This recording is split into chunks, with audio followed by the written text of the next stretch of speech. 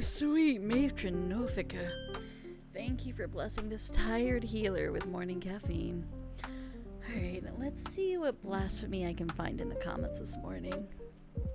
Mm-hmm. Mm-hmm.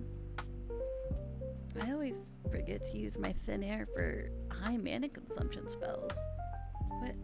What? What? Heretic! I'm kidding, I'm kidding. I feel like Thin Air is one of the most underutilized and undervalued White Mage skills.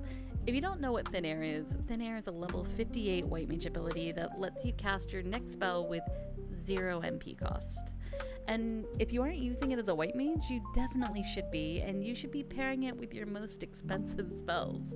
You got, what, 10k MP thereabouts? A single raise is 2400, and what if you have to do two? That's 4800. That's like half your MP. Or you could burn both charges of thin air, and it costs zero. Oh my god, it's one of the best things about White Mage. That, or if you're trying to recover from a wipe, getting raised and then immediately being able to cast Swift Cast Thin Air and raise another person or heal your whole party for free just feels so good. Anywho, use your Thin Air White Mages. Macro it, put it on a sticky, write it on your hand, do what you gotta do, but don't let those charges go to waste. Heck, I burn them during holy spans in a dungeon if I've got nothing else to use them on.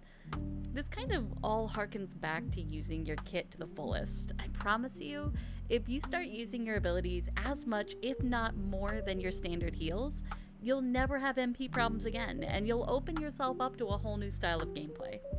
Silver, this time next week, I expect a full report on how you use Thin Air at least four times per, um, oh, mornings. At least four times during your next dungeon or raid or whatever. I don't care what you use it on, I just want you to use it.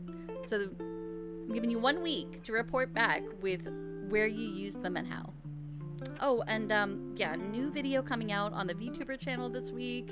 I've really loved playing this game called Goblin Cleanup. I'm, I'm really bad at it, but I really like it.